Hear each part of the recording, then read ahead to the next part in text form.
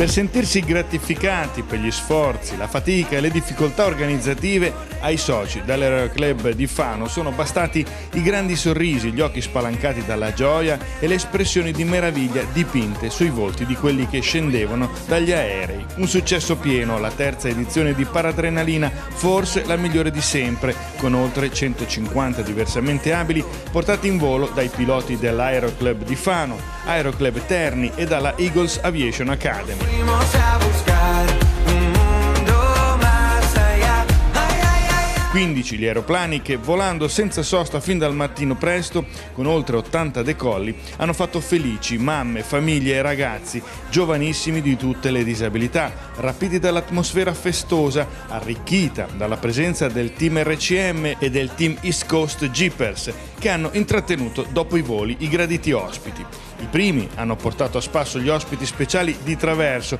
con le auto da drifting guidate da piloti del calibro di Riccardo Tonali. I secondi hanno fatto provare agli ospiti il brivido del fuoristrada in una pista appositamente creata per l'occasione, con buche, cunette e percorsi di pendenza. Quest'anno in particolar modo abbiamo cambiato la disposizione eh, degli ingressi in pista dei velivoli, quindi eh, la festa si allunga un pochino di più su tutto quanto il piazzale, quindi abbiamo più punti e di ristoro e di divertimento, quindi per tutti i ragazzi non si formano lunghe code ma si riesce ad essere dinamici nell'attività e di terra e di aria.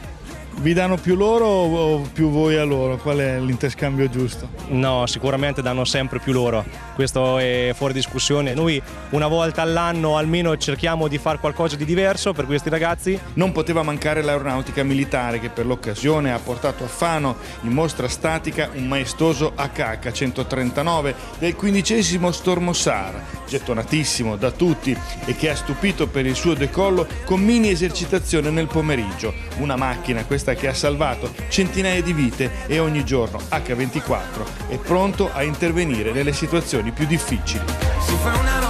Un esempio per tutti poi è arrivato da Sabrina Papa, pilota cieca assoluta, come tiene lei a precisare, che ha pilotato un P2008 della Eagles Aviation, accompagnata da un istruttore della scuola di volo. Ennesima dimostrazione che con la forza di volontà si può superare qualsiasi ostacolo. Hanno partecipato all'evento anche il neoassessore al turismo e agli eventi del comune di Fano Etienne Lucarelli, il sindaco di Fano Massimo Seri e il presidente del CONI regionale Fabio Luna. quando come in questo caso si fanno vivere tutta una serie eh, di emozioni anche che coloro che sono affetti da disabilità eh, perché come dico sempre quando si arriva in un mondo fatto di emozioni poi la disabilità non esiste più Assessore, sarebbe bello che anche che tutta la città fosse accessibile e inclusiva. questo è un obiettivo che noi abbiamo quindi fare in modo che non ci siano barriere per far vivere le strutture turistiche per far vivere le attività fare in modo che anche queste persone possano vivere a 360 gradi una città un'emozione un'attività è sicuramente un obiettivo importante della nostra amministrazione Malgrado il caldo, tutto si è svolto nel migliore dei modi grazie anche alle tante zone ad ombra